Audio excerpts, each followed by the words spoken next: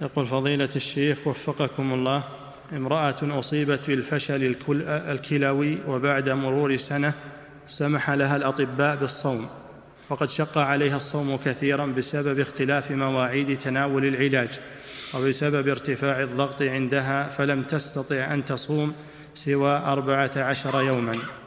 فما حكم هذه هذه المرأة؟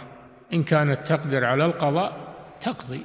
وإن كانت لا تقدر على القضاء ولا ينتظر أنها تقدر فإنها تطعم عن كل يوم مسكينا ويكفي هذا إن شاء الله. نعم. وهل يلزمها قضاء مع المشقة؟ لا مع المشقة لا.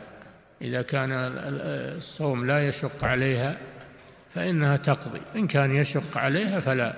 الله جل وعلا يقول وما جعل ما جعل عليكم في الدين ما يريد الله ليجعل عليكم في الدين من حرج. نعم. وما جعل عليكم في الدين من حرج. نعم. يريد الله بكم اليسر ولا يريد بكم العسر. نعم.